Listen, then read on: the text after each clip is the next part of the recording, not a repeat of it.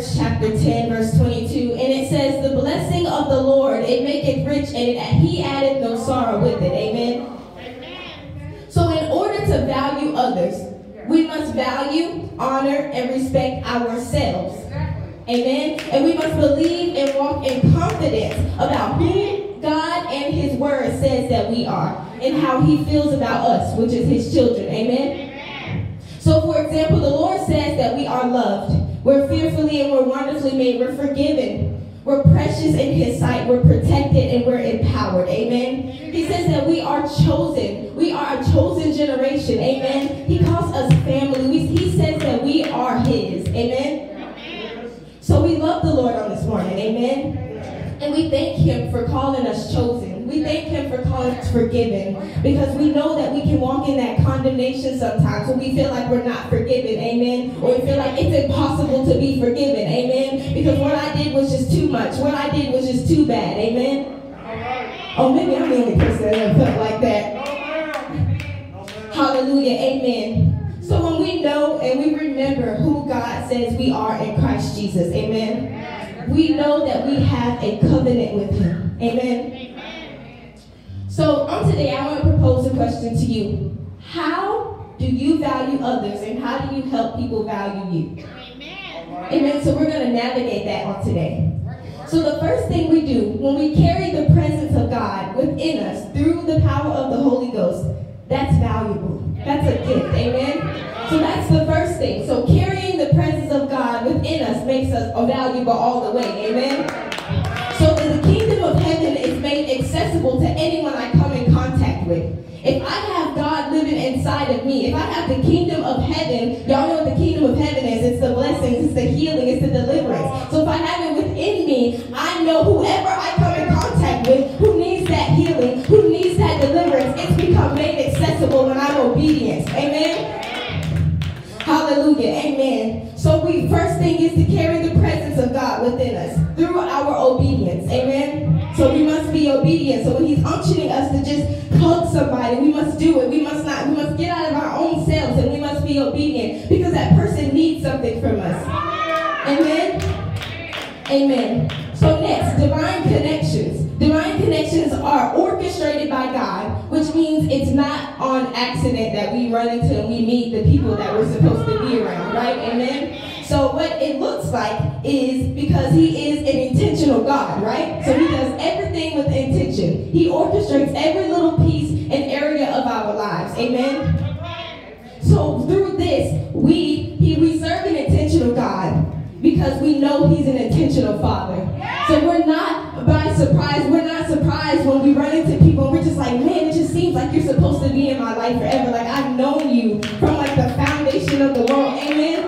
But that's because God has already pre-orchestrated that together. So that is another way that we know that people are valuable because the King of Kings and the Lord of Lords sent them in our lives world. Amen. So that's valuable that he thought enough that we needed a person that he thought about us enough that we needed this place to be able to make us greater. Amen. Hallelujah. So divine connections. And then what we have and we carry inside of us, we talked about this before, that it's valuable and somebody else may need it. So we need each other. So what I lack, you may be full of.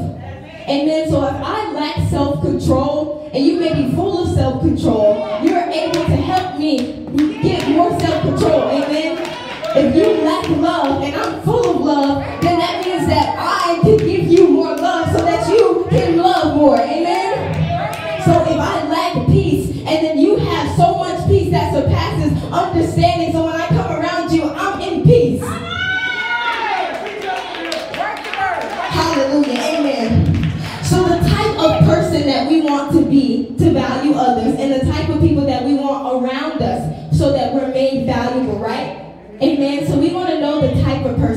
to tell y'all the type of person you want to be and the type of person you want around you. Amen. So if you can turn to me with Matthew chapter 5 real quick. And we're going to navigate this text really quickly because I only got 10 minutes. Amen. Glory to God. Amen. I love this text. And it's so familiar. They call it the Sermon on the Mount, so the Beatitudes, right? So I'm going to be starting, of course, at verse 3. Hallelujah. So Matthew chapter 5, verse 3 is where we're going.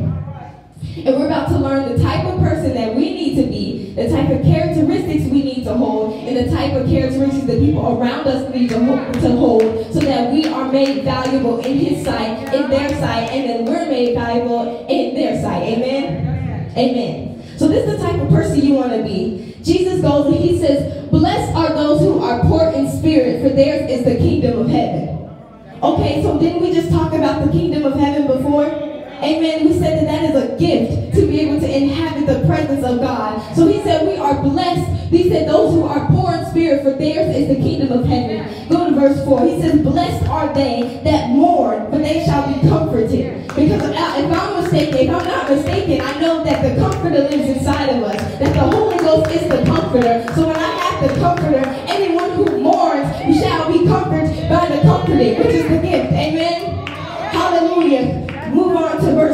It says, Blessed are they who are meek, for they shall inherit the earth. So if I'm able to inherit the earth and everything that God designed it to be from the beginning, not talking about what man has messed it up to be, but I'm talking about from the beginning, right? So if I can be able to inherit the earth that is good, that God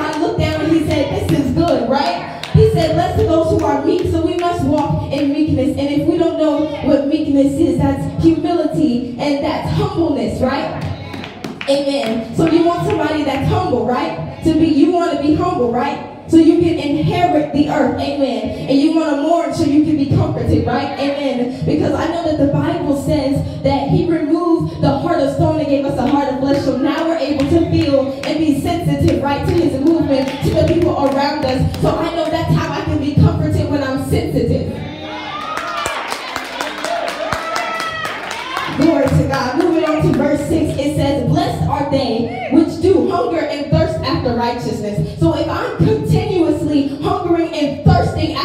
righteousness of God, I know that I'm going to be filled. Right? Because that's our ultimate goal. We are sealed to the day of redemption, so we must be filled with the Holy Ghost or we're not getting up out of here. So if I want to hunger and thirst after the righteousness of God, I know that I'm going to be filled. So I know the people connected to me, the people around me to be filled. I want to be filled, so I'm blessed. Back to me here today. Woo, hallelujah. So next verse, it says, Blessed are those who are merciful, for they shall obtain mercy. So I know the person I want to be around me to be merciful. So when I fall, they're not looking at me like, mm. Amen, right? Right? And I know when they fall, I'm not looking at them like, mm. Right?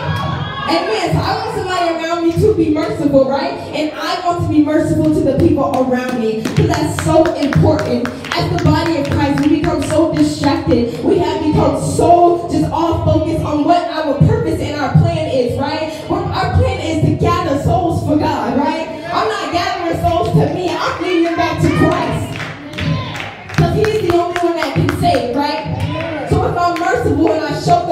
God, they'll know, oh, we serve a merciful God. that I'm not deserving, right?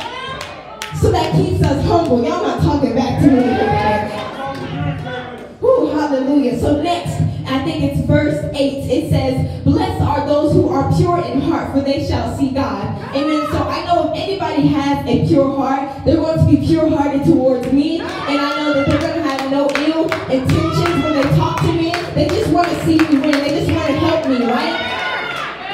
Amen. So I know I want to have a pure heart because it says that I'm blessed if I have a pure heart because I know that I'll be able to see God and not many people are going to see God. If you think about all the heart sins, the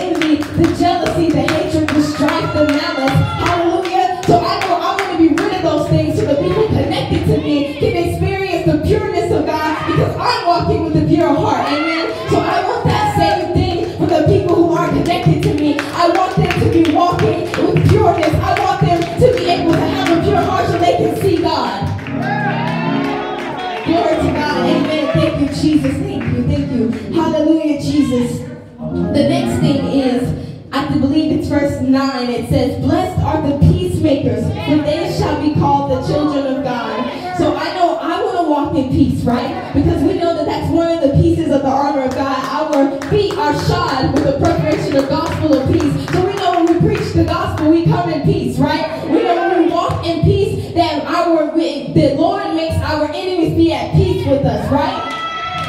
Right? Hallelujah. So if I know I want to be a peacemaker, I don't want to be the type of person stirs up trouble. Because if I'm always stirring up trouble, then nothing ever is going good is going to come to me. Because I'm not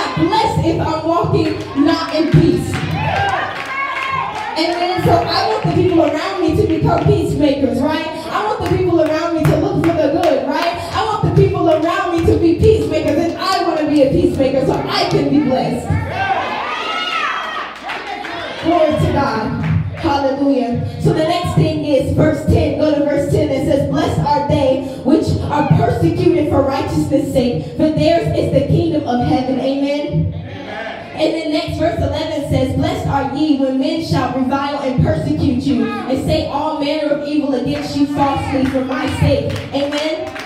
So I want to talk about that real quick. Because I feel like sometimes we have a misconception of what persecution is. Okay, so check this out. As I was sitting here studying this, right, I'm going to turn your attention real quickly to verses 10 and 11, and it says, Blessed are those men when they um, persecute you, right?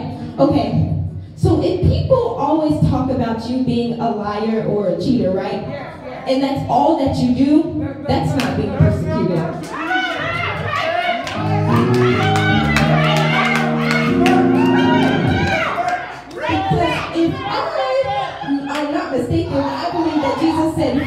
Right? So that means it's not true, right? But no, no, no. If I said if that's all you do, that's not persecution. That's just holding you accountable, right?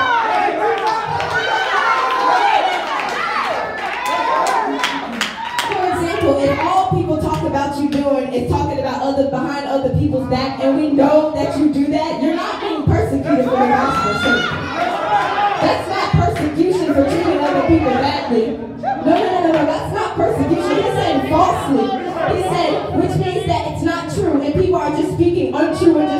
accusations that you know that you don't do, right?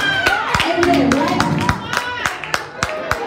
So, for example, what persecution may look like is she can't always be this happy and joyful, right? She got to be faking.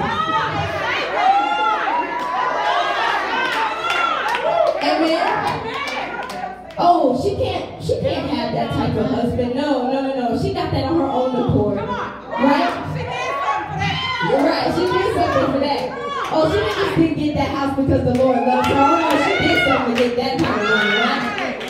No, now that's persecution. When you know you've been laboring before God, when you know that you're consecrated, when you know that you're walking according to the statutes and the laws of God, that's when you know that's persecution. When they can't, when the enemy can't find himself in you. Now, if the enemy can find himself in you, that's not persecution.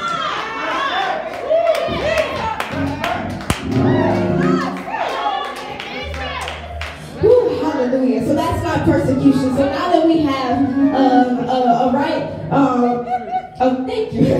so now that we have a right understanding of what persecution means, right? So now we know when we're being persecuted and when people are just telling the truth and we need to change.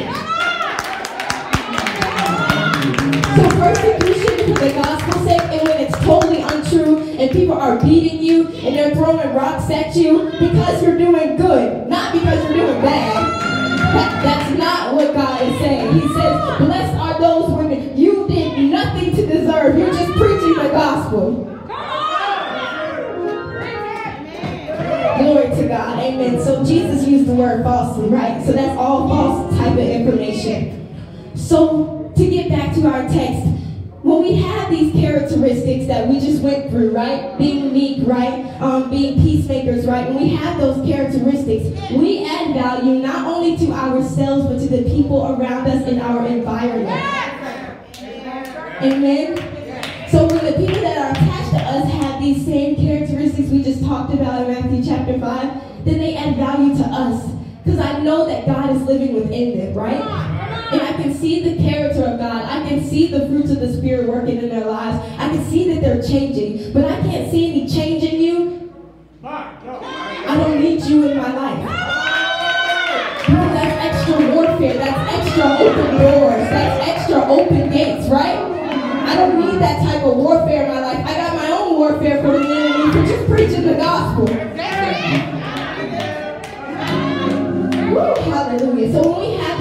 People in our lives and they carry these they carry these characteristics. Sorry, Lord. When we carry these characteristics, which I know I want to carry these characteristics. I want to work so hard so that the people that are around me, they can see these same characteristics in me, right? And the people around me, I can see these same characteristics in them.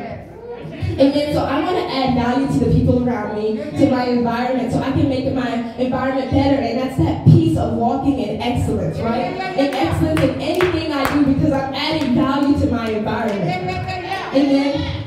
Glory to God. So I know that when the people are connected to me are walking this way and I'm walking this way, we're both blessed. Right?